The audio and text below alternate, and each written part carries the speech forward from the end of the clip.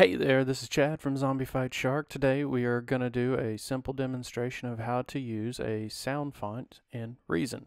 Today's demonstration uses a sound font from the DR202 release from Zombie Fights Shark. So, step one, find the sound font you want to use. Now, you're not going to be able to just grab it and drop it in. Nothing happens. You got to go over to it, click down, open that little preset folder, drop that in, boom, converts into an NNXT.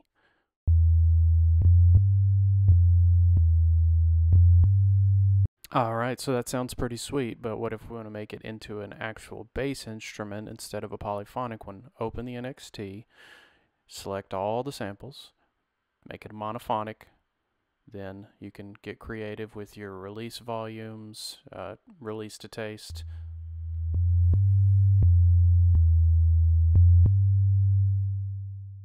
and then you want to add some uh, portamento there, make it a little slippery.